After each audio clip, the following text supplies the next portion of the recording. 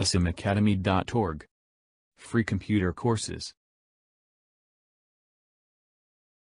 learn how to zoom in and zoom out. Android studio editor window. Open android studio. Then go to file. Then setting. Then editor.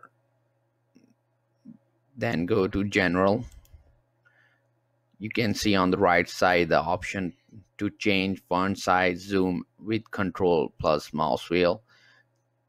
Check this option and click OK.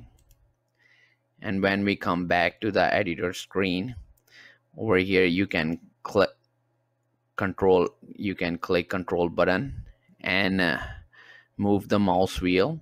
It will zoom in. If you move upward if you move downward it will zoom out. For more video you can visit us at asimacademy.org